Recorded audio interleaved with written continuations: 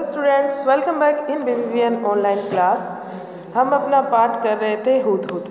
उसके हमने कल प्रश्नोत्तर किए थे। आज आपकी पुस्तक की पृष्ठ संख्या 112 के ऊपर, यानी कि पेज नंबर 112 के ऊपर कुछ रिक्त स्थान दिए हुए हैं, वो करेंगे। ओके स्टूडेंट तो आप अपने पृष्ठ संख्या 112 निकालिए। रंगारंग। हुद हुद का सारा शरीर रंग बिरंगा और चटकीला होता है। हमने चैप्टर में देखी है चिड़िया और रियल में भी हमने ये चिड़िया देखी है कि ये बहुत ही सुंदर चिड़िया होती है, चटकीले रंगों वाली होती है। हुद हुद का रंग चटकीला बताया जाता है। रंग कैसे हैं? यह बताने के लिए कुछ शब्दों का इस्तेमाल किया जा जा सकता है, जैसे फिका रंग, चटकीले रंग आदि। फिका रंग जैसे वाइट वाइट चिड़िया होती है, आप देखते हो नॉर्मल चिड़िया जिसका रंग होता है, वो फीके फीके रंग की होती है। चटकीला रंग जिसका डार्क ब्राउन ब्लैक रेड के अंदर उसकी चोंच होती है, पूंछ रेड होती है, वो वाली चटकीले रंग की होती है। तो इस तरह से रंगों को बताने के लिए इन शब्दों का प्रयोग किया जाता है। बताओ कि ऐसे किन किन चीज़ों के रंग होते हैं, फीके और चटकीले? देखिए, रंग का नाम आपको भरना है इस रंग की चीज़ों के नाम भी भरने हैं, जैसे गहरा। गहरा रंग किसका होता है? पत्तियाँ गहरे रंग की होती है कौआ गहरा रंग का होता है, भालू गहरा रंग का होता है। पत्तियाँ गहरी हरी होती है ना, ग्रीन कलर की, और कौआ और भालू काले कलर के होते हैं तो इनका गहरा रंग होता है। फीका कलर, आसमान आसमान फीके कलर का होता है, मिट्टी फीके कलर की होती है, खरगोश और हाथी, इनके कलर कैसे होते हैं? फीके होते हैं। भड़कीला भड़कीला कलर जो आँखों हम जब देखते हैं तो आँखों में चुभता है उस कलर, जो से चमक वाले कलर होते हैं, उनको कहते हैं भड़कीला कलर। जैसे प्लाश का फूल जो होता है, वो लाल कलर का होता है। प्लाश के फूल ऐसे होते हैं, ऐसे लग रहा, लगता है जैसे जंगल में आग लग गई हो। इस तरह से भड़कीले कलर धूप में वो और भी ज़्यादा ऐसे जंगल में आग लगी हुई सी लगती है। तोता, मोर ये सब भड़कीले कलर के होते तोता रंग, हम तोते रंग का इस्तेमाल कम ही करते जो तोते का कलर होता है।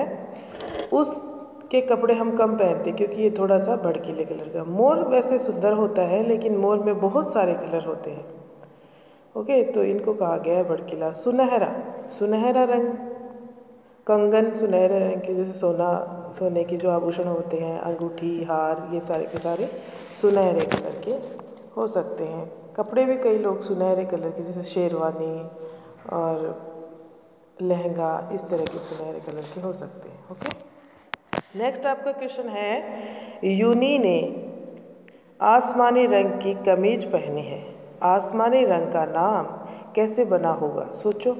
संकेत, फल, सब्ज़ी, पत्तों आदि के नाम पर।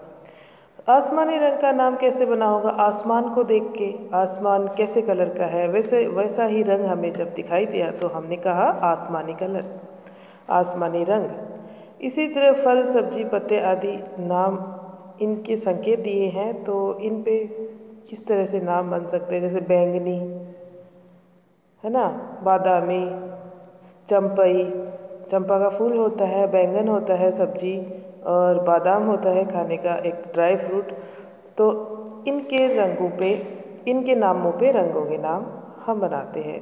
सुनहरा, मेहंदी, सिंदूरी, इस तरह के नाम भी होते हैं। नारंगी नारंगी क्या है? एक तरह का फल है। जामुनी भी, जामुन भी फल है तो जामुनी, तांबई, तांबे का कलर कैसा होता है? तांबे का कलर, जैसा कोई कलर होता है तो उसको कहेंगे तांबई। ये एक तरह का धातु है, तांबा।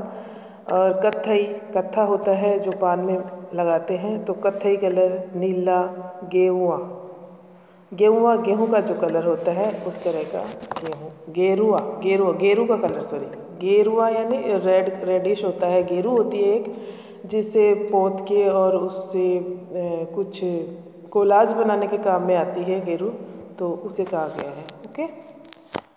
नेक्स्ट आपका प्रश्न है, शब्द एक, अर्थ अनेक, ये मैंने आपको बार बार में करवा दिया है तो ये वाला आप खुद करने की कोशिश करिएगा। देखिए, शाह की भेंट हुदहुद के मुखिया से हुई। मुझे मेरी बहन ने एक सुंदर भेंट दी।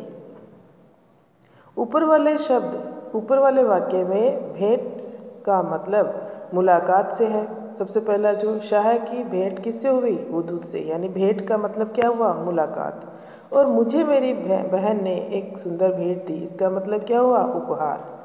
तो दोनों में शब्द एक ही है, लेकिन अर्थ अलग अलग निकल रहा है, वाक्य के अनुसार।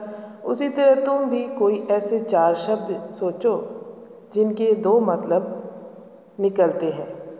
उनका वाक्य भी बनाओ। वाक्य में प्रयोग करके रिक्त स्थान में आपको फिल करना है। मैंने यहाँ पे शब्द लिए हैं। ये शब्द आपको लेने की कोई आवश्यकता नहीं है। आप अपने हिसाब से दूसरे ऐसे शब्द ले सकते हैं, जिनके दो अर्थ निकलते हैं और वाक्य में प्रयोग करना है।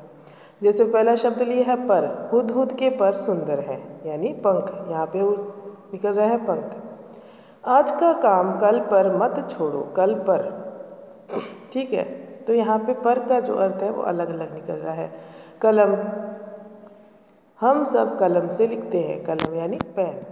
राजा ने चोर का सर कलम कर दिया, यानी कि काट दिया, सर धड़ से अलग कर दिया। ठीक है?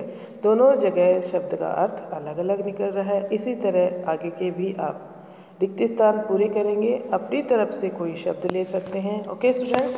सुंदर सुंदर हैंड राइटिंग में आप इन रिक्त स्थानों को भरेंगे और फ़ोटो क्लिक करके मुझे सेंड करेंगे। Thank you.